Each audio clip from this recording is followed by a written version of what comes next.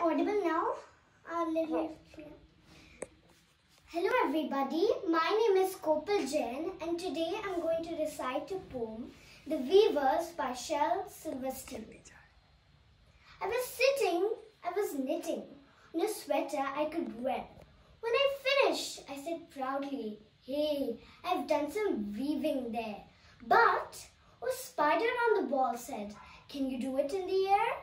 Can you spin it out of gossamer from the ceiling to the stair? Can you let the wind blow through it so it sways but doesn't tear?